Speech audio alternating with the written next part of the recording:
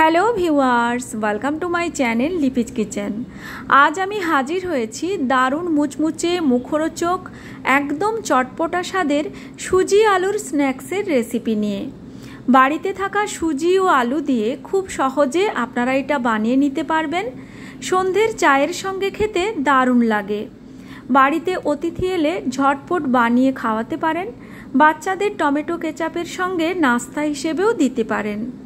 আশা করছি আমার আজকের এই সুজি আলুর স্ন্যাক্সের রেসিপি আপনাদের খুব ভালো লাগবে। আমার চ্যানেল এখনও না সাবস্ক্রাইব করা থাকলে চ্যানেলটি সাবস্ক্রাইব করার অনুরোধ রইল।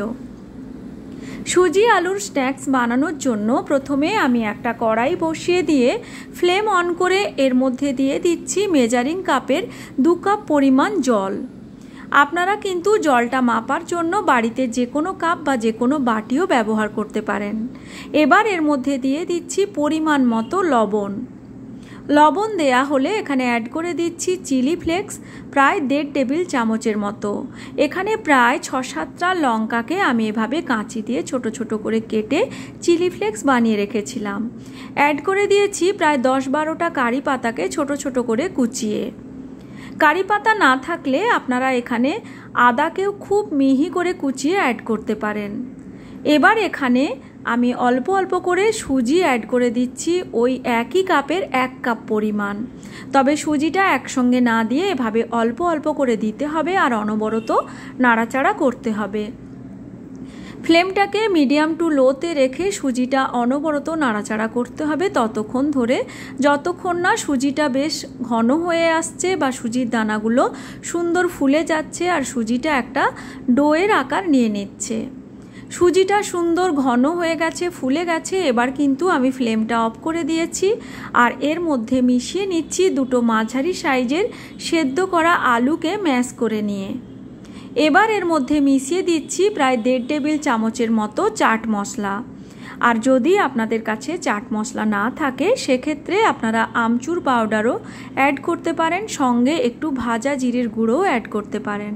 আর যদি আমচুর পাউডার বা চাট মশলা না থাকে, সেক্ষেত্রে আপনারা একটা গোটা পাতিলেবুর রস ব্যবহার করতে পারেন।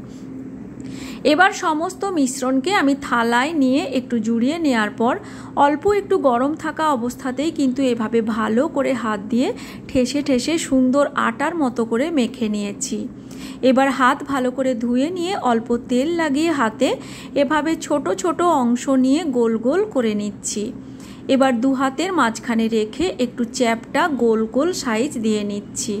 দেখতেই পাচ্ছেন, আমি এভাবে কিন্তু সমস্ত স্ন্যাক্সগুলো তৈরি করে নিচ্ছি।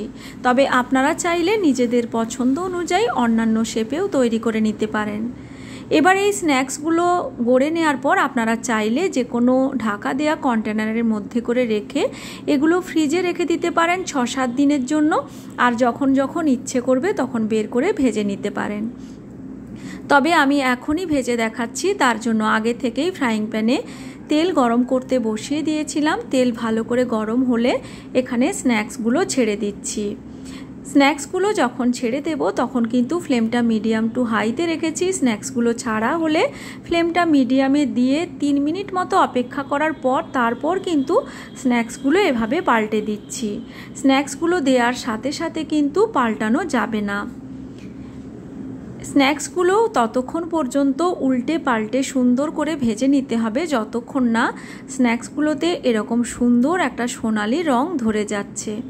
মোটামুটি এই স্ন্যাক্সগুলো ভেজে নেওয়ার জন্য আমার ছ থেকে সাত মিনিট সময় লেগেছে।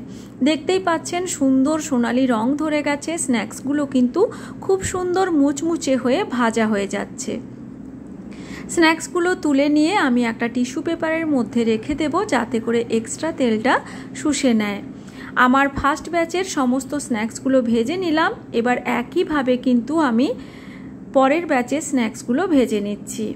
দেখতেই পেলেন সুজি আর আলু দিয়ে তৈরি এই স্ন্যাক্স তৈরি করা কতটা সহজ। আর খেতে কিন্তু ততটাই মুখরোচক আর দারুণ মুচমুচে হয়। আশা করছি আমার আজকের এই সুজি আলুর স্ন্যাক্সের রেসিপি আপনাদের ভালো লেগেছে। ভালো লাগলে লাইক, শেয়ার ও কমেন্ট করতে ভুলবেন না যেন। আজকের মতো এই পর্যন্তই। Thanks for watching.